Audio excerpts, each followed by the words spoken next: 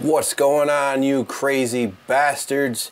Back with another installment of Beer of the Day with Rob Kimball. Today we have another mighty fine Sam Adams Maple Pecan Porter. I've yet to ever taste this, so this is a brand new taste to Rob Kimball.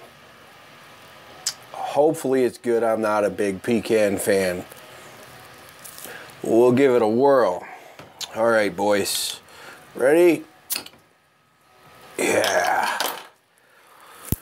So, I'm gonna get a little. Whew. Boy, that fucker smells dark. I don't know. Ah, I don't know, that's a little odd. Well, bottoms up, boys.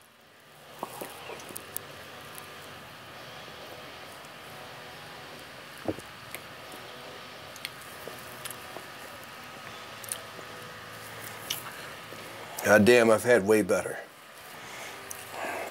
I'm gonna give it a second, second shot here. Holy shit.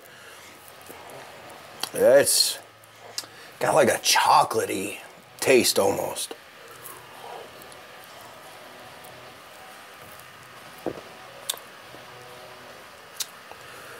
Well, if you plan on drinking a lot in one night, do not pick these up.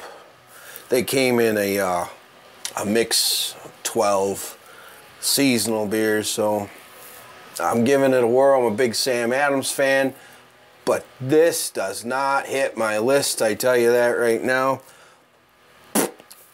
I don't really care for it. Obviously, I'm going to drink it because I love beer and will not waste any.